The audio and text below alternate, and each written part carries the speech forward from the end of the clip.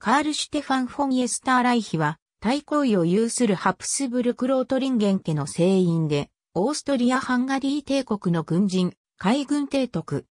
1919年にポーランド国籍を取得し、カロル・ステファン・ハプスブルク・ロタルインスキと名乗った。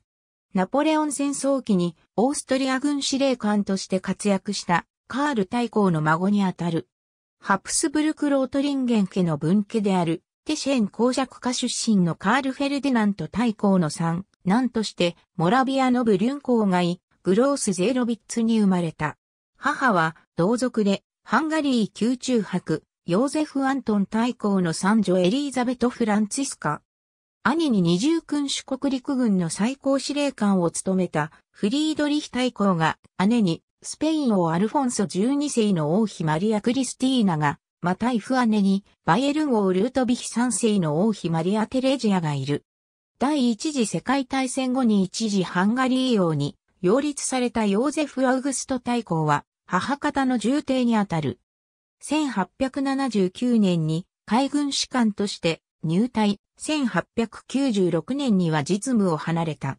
しかしその後も軍人としての階級は進み、1901年には提督、1911年には大帝徳に昇進した。また、名誉職である海軍総監の任務も与えられた。しかし、第一次世界大戦期は海軍の諸作戦に積極的に関与し、1918年には皇帝カール一世により、カッタロの海軍基地で暴動が起きるのを抑えるために視察に行くことを命じられている。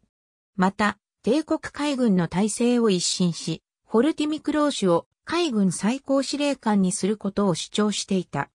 1895年、兄弟と共に、叔父のアルブレヒト大公から遺産を相続した。カール・シュテファンは、ガリツヤのザイブッシュの広大な所領を受け継ぎ、ザイブッシュの城を本拠とした。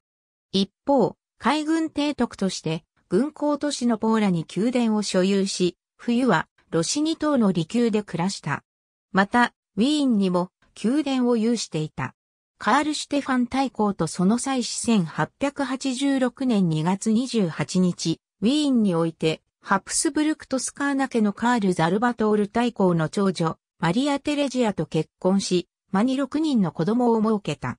カール・シュテファン大公、二人の娘エレオノーラとレナータ、おばのマリア・カロリーナ大公女とその、オットライナー大公と共に三人の娘のうち、次女レナータと三女メヒティルディスはどちらも、ポーランド人大貴族と結婚したものの、いずれも王族同士の対等結婚でなかったため、潜在的なオーストリア帝位継承権を放棄せねばならなかった。しかしカール・シュテファンは娘たちの縁組を通じて、ポーランド貴族との同盟関係を築き、自らがポーランドの国王候補となることを期待していた。長女のエレオノーラは1913年、幼馴染で父の所有するヨットの船長であったアルフォンス・フォン・クロスとの恋愛結婚に走った。1916年11月5日、皇帝フランツ・ヨーゼフ一世とドイツ皇帝ビルヘルム2世の共同宣言により衛星国としてポーランド摂政王国の建国が決まった際、ガリツヤの王子主であり、ポーランド語を流暢に話し、二人の娘をポーランド最有力の大貴族であるラジビウ家とチャルトリスキ家に嫁がせていたことがその要因であった。カール・シュテファンがポーランド王として体感するには、ハプスブルクロートリンゲン家課長である皇帝カール一世の認可を得る必要があった。ところが自らポーランド王となる野心を抱くカール一世は認可を絞り、最終的には拒絶した。